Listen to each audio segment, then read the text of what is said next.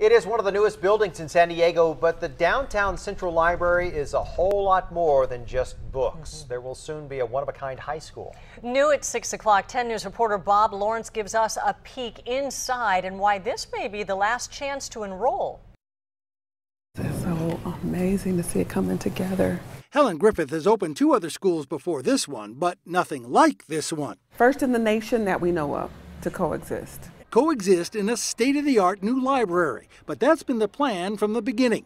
Two floors of the new nine story central library are dedicated to the E3 Civic High School, a high tech wonder. This area in the corner is our green screen. From broadcast studios to interactive flat screens and a showpiece grand staircase to connect it all. They're going to be bench seating like bleacher seating on the right hand side There'll be a glass glass rail. All wrapped inside the new Central Library with that iconic dome on the ninth floor called the People's Penthouse. When you come in here, it's so, so much more than just a building with shelves and books. There are shelves and books. I mean, it is a library after all, but it will also be full of high tech gear. Students will have their own secure entrance and elevator up to the school on the 6th and 7th floor, but they'll also have full access to the resources of the library including the new auditorium and special event area on the ninth floor where the views are amazing.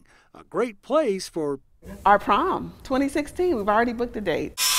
Crews are working double shifts to get everything ready while student admission is growing scarce. We have a waiting list at ninth grade, but we only have 50 more seats available to 10th grade. We want families to hurry and apply. Opening day for the school is September 3rd. The library plans to open September 28th.